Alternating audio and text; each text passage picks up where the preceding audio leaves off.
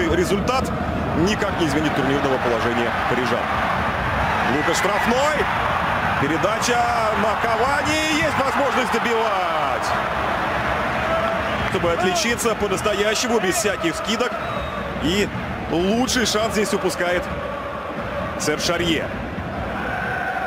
Шел мяч, где уругваец находился. Вот теперь он уже на правом фланге. Удар поворотом. И вот такой вот скромненький гол. Давайте повтор будем смотреть. Так, ну у нас все-таки, судя по этому повтору, случился. Мяч изменил. Не. Это так, в динамике не очень хорошо. Если э, говорить все времена не столь от нас отдаленных, то в игре а, против а, прописка в высшем дивизионе французского футбола. Удар поворотом. Отлично. Вступает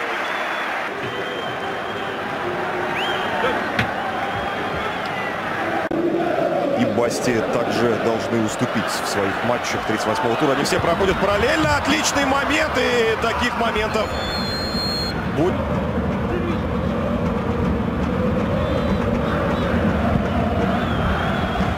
Активно остаюсь, что ли, остается Анхель Ди Мария, поэтому понятно, что он и будет подавать.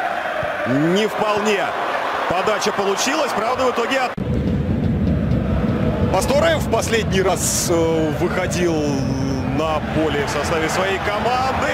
Немножко отложим пока разговор в воздухе, как любит и умеет это делать. Атаки. Удар поворотом. И очень неприятно ему наказывает.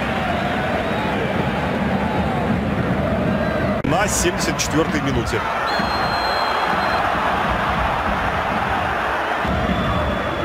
Так, смотрим еще раз этот момент. И да, безусловно, дамы и господа, это пенальти. И первый момент после перерыва железный, потому что это 11-метровый шанс сравнять счет. Трап тащит. Ну, после этого да, не пользуется такими шансами.